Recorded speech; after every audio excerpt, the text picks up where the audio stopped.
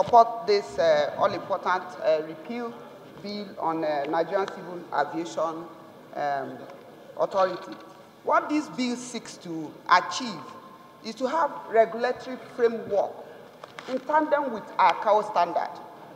Because during our oversight functions, we found out that there, the agency of uh, the NCAA sometimes they're having issues with FAAN or NAMA because of uh, regulations in the past.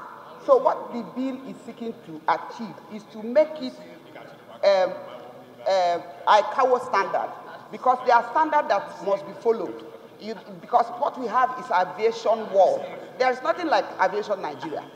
And in aviation sector, number one, one priority is safety. Second priority is safety. Up to the last priority is safety. So this bill is bringing to the fore the safety um, enablement to to uh, to uh, to bring the aviation in, um, sector to the best international practice. So it's not anything to go and begin looking at uh, other laws because what is repealing is those controversies over uh, FAAN doing work of NCA and NAMA saying they are the people that are supposed to do this. So it's about regulatory issues. And before aviation sector will uh, operate optimally, the, these regulations must meet international standards. And so that's what it seeks to achieve. No more, no less.